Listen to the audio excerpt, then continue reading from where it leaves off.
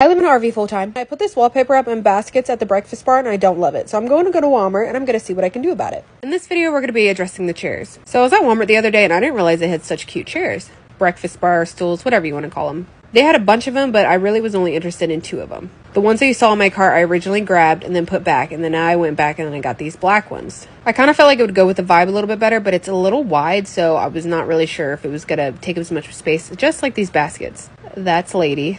Lady was saying hey. So I put those baskets in the living room.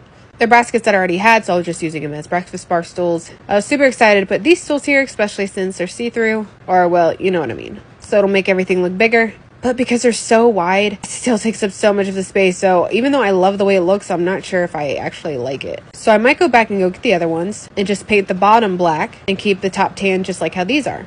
They're not bad, they just take up a lot of space. So I'm gonna just sit on it for a while. Now to tackle the wallpaper, go to my page for part two.